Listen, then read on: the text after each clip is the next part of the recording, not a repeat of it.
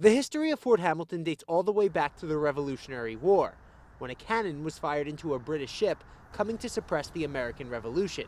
But today, the future of the historic base remains uncertain. The current and past base commanders of Fort Hamilton recognize something which is very important that anytime the base closure commission comes up, Fort Hamilton is in the mix. Brooklyn Chamber of Commerce President Andrew Hoan says the base still has value to the neighborhood and the borough. So, together with Congressman Dan Donovan, the Chamber has proposed a plan to protect the future of the base and the future of residents in New York City. We're the site of the largest terrorist attack that ever happened in this country's history. And we need to prepare people, emergency responders, cybersecurity, and where can we put them? And of course, it was Fort Hamilton. And the proposal also includes plans for a business incubator for companies specializing in those security fields.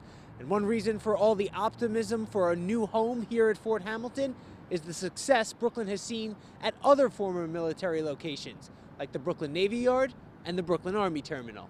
We have taken what were these major maritime and naval and army installations, and we have converted them into light manufacturing, industrial spaces, maker spaces, places, bottom line, where people are getting jobs and they're growing the economy of the borough.